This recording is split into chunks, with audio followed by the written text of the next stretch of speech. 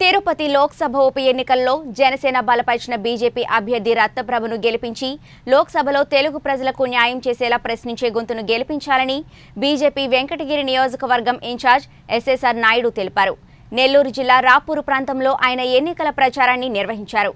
ఈ కార్యక్రమంలో BJP Tirupati parliament అభ్యర్థి రత్నప్రభ ఎస్ఎస్ఆర్ నాయుడు బీజేపీ రాష్ట్ర నాయకులు కందుకూరి సత్యనారాయణ బీజేపీ పార్టీ నాయకులు కార్యకర్తలు తదితరులు పాల్గొన్నారు.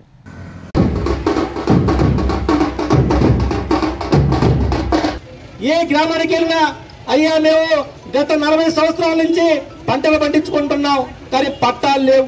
పట్టాలుంటే పొలాలుండవు పొలాలుంటే పట్టాలుండవు రెండు ఉంటే నీళ్ళుండవు నీళ్ళుంటే కరెంట్ ఉండదు.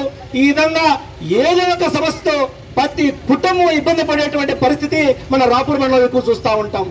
ఈ ప్రాంతంలో అనేక బీడు భూములు ఉన్నాయి. మీకు తెలిసినట్టు మీరు చాలా రోజుల నుండి కాంగ్రెస్ పార్టీ అభ్యర్థి శ్రీ చింతామోహన్ గారు లేకపోతే టీడీపీ అభ్యర్థి లేకపోతే వైసీపీ అభ్యర్థికి పార్లమెంట్కి పంపించడానికి ఓటేశారు. కానీ వాళ్ళు అక్కడ వెళ్ళి మీకోసము ఏమీ చేయలేదు.